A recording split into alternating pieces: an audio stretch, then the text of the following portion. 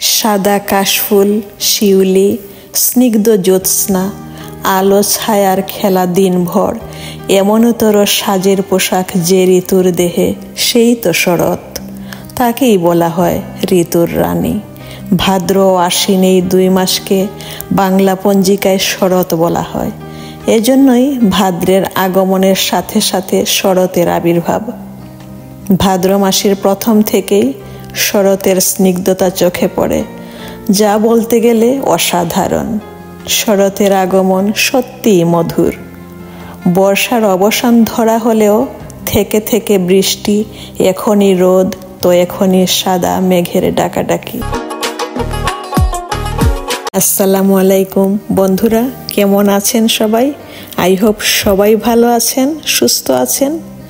যেহেতু এখন আমার প্রিয় শরৎকাল চলছে, তাই শরৎ নিয়ে সামান্য কথা আপনাদের সাথে শেয়ার করে নিলাম। সেই সাথে আমার বাগানের শেষ সবজিগুলো হারভেস্ট করাটাও দেখিয়ে দিলাম এবং ভিডিওর শেষের দিকে একেবারে ভিন্ন স্বাদের, কেউ এভাবে করে খাননি, এমন একটা মজার রেসিপি শেয়ার করব আজ। আশা করি শেষ পর্যন্ত থেকে আপনারাও ট্রাই করে জানাবেন। কিছু মানুষ আছে যারা অহেতুক মানুষের সাথে খারাপ ব্যবহার করতে পারে। মিষ্টি কথার আড়ালে ঠেস মেরে কথা বলতে পারে। মজা করার বাহানায় অপমান করতে পারে। শুধুমাত্র জীবিকার নিরিখে অপরিচিত কাউকে তুই বলে সম্বোধন করতে পারে।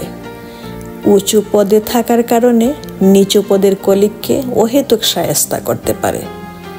বড় বলে ছোটদের মতামতকে সম্মান না করতে পারে। বেশি উপার্জনের হওয়াতে স্বল্প উপার্জনের পরিচিতকে নিচু দেখাতে পারে।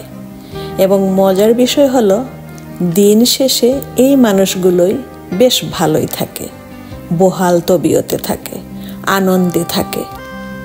চোখ থেকে জল ঝরে যায় শুধু এই সব মানুষদের যারা বুকের ভেতর একটা সংবেদনশীল মন নিয়ে ঘুরে।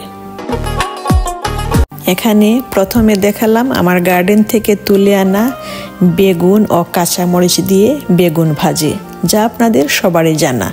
তারপর দেখাবো দুই প্রকার মাছের শুটকি এবং শিমের বিচি দিয়ে কীভাবে খুবই মজার শুটকি কারি করে নেওয়া যায়।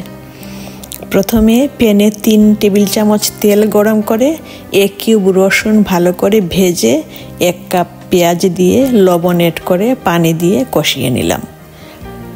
কষানো হয়ে গেলে দুই চা চামচ মরিচের গুঁড়া, দুই চা চামচ ধনিয়া গুঁড়া, হাফ চা চামচ হলুদের গুঁড়া দিয়ে ভালো করে মশলাটা কষিয়ে বড় মাছের শুটকি দিয়ে দিলাম।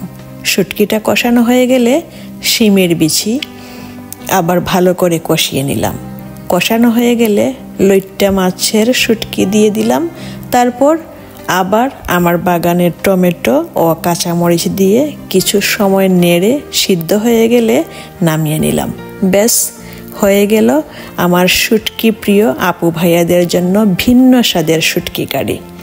সো বন্ধুরা, আমার আজকের ভিডিওটি কেমন লাগল জানাতে অবশ্যই ভুলবেন না। সবার জন্য শুভকামনা।